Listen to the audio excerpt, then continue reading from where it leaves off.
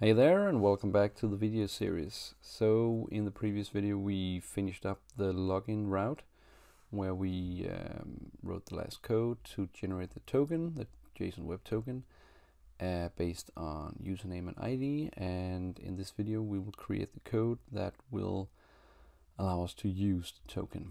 So we can uh, authenticate uh, the user uh, to the API and allow the user to use uh, specific uh, routes that we want to protect.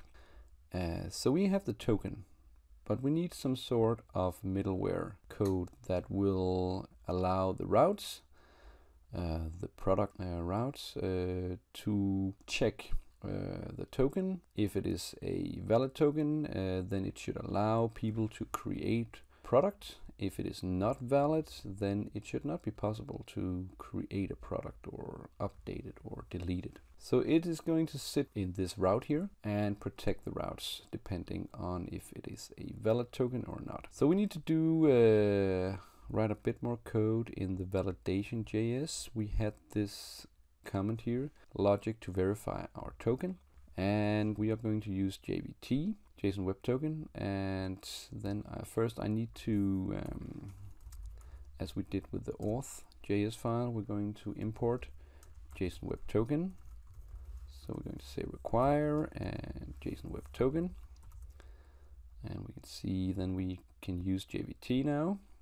And then we will make a new new function here verify token. That will take a request response and then next because it is a middleware function. So this will sit between the product routes, actually before the product routes, and verify if the token is okay. And if it is okay, it's going to pass control to the product routes. But we will see this. Whoop. So let's make a new function here. And first we're going to make a new token that we get from the request header and let's just call this auth token. So it's going to be in postman we are going to make a uh, a new header in here well in the product routes but we're going to set a an auth token. And then we're going to attach this uh, token that we got from uh, from the API and then we can validate on each route if it is a uh, valid token. So we're going to get auth token from the header and then we will uh, check if we don't have a token. Then we're going to respond with status 401 uh, access denied and we're going to send a JSON response with the message access denied. Okay, but if we have a token, then we will make a try and catch block. Whoop. So we also have the catch here. And we're going to do something there. But first, uh, we will make a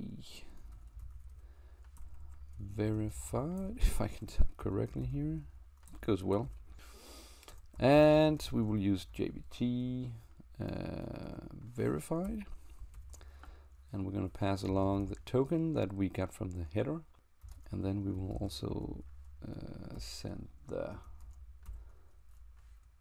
whoop, the token secret that we had in the env file and this will give us a, a, result if it is verified or not and if it is not verified if we get an error it's going to be uh, caught in the catch block. And then we're going to respond here with a status 400 uh, with an error here saying that the token is not valid. Maybe because it expired or something like that.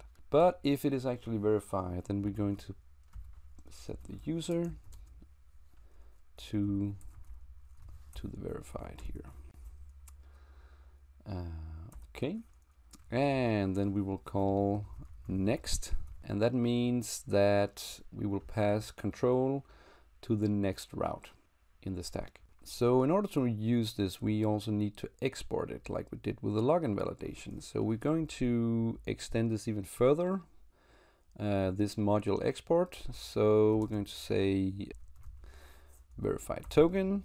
We're going to export our function in this uh, module export. So how can we use this uh, in our application now? Because now we have exported it uh, the middleware function and uh, we need to use it in our routes because if we take a look in the product.js where we have all the CRUD operations specified, this is where we would like to authenticate the user or to require authorization so that we can see that the user is actually authorized to delete a product, for instance, or update one or create one. Maybe it's not so critical to read them just to get the information, but if it is sensitive information, then maybe we would like to also restrict access to these routes if you are only uh, authorized to it. So uh, the way we do this is that we need to uh, have access first to the verified token function, the middleware function. So we will create a new constant here uh, called uh, verified token. Whoop, a middleware function here. So require and then we need to because we are inside the routes directory so we need to go outside and into the validation. Then we have access to our verified token. And uh, an easy way now is to um, in the route here we can pass in the authentication function here or the middleware function. So we specify verified token Whoop. So now it sits between before we do the actual uh, creation of the product. So it's going to verify the token before it will do this code. And uh, if it is a uh, successful verification, uh, then it's going to pass along control to the next route. This means that it's going to pass along the control to the route here if it is a valid verification okay if not then we will uh, catch it right here saying that the token is not valid or also here access denied if we do not provide any token. Alright, so how does this work in Postman if we should test this out? Well, if we go to Postman and let's just log in again here, let's just take this one away first because it should not be on the login. This was just a demonstration here, so we take this one away and let's just log in again with our uh, user. So we can see here that we get the authentication and the JSON web token here. So I'm going to copy this uh, token and if we want to, let's just take the create because we just attached it to the create now as the only route right now. Uh, so if we want to create a new product and we are not uh, providing any authentication right now. So if we hit send now, it will say access denied because as we specified in the validation, if there is no token, we should respond with uh, access denied. Okay, so this is where this if statement kicks in.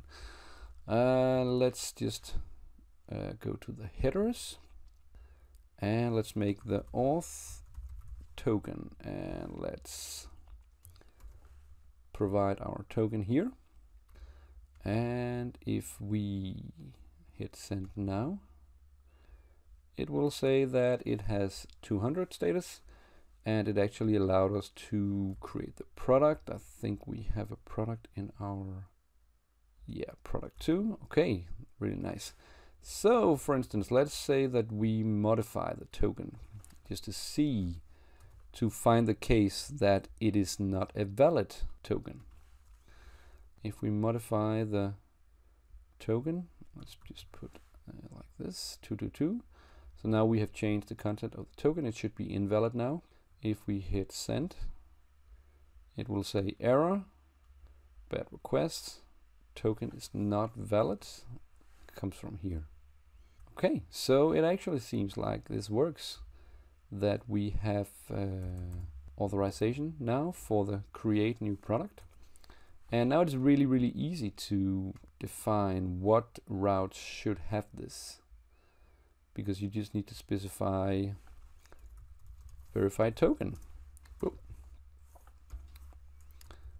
If I can actually, whoop. So we specify the middleware right there. And so we can really put this, uh, have this granular control of which uh, routes we want to protect and which should be um, available to all. Uh, so you don't need to authenticate. So now we have only create and delete, but we can still see that if you want to uh, get a an overview of all the products, you can still do this even though you're not authenticated. So we can just hit send on this and it will allow us to do this because the get all that we have right here does not have the verified token middleware function. So this concludes the uh, authentication system based on JSON Web Tokens that we have uh, built on this uh, REST API. And I hope you make this work and uh, have fun with this. Bye bye.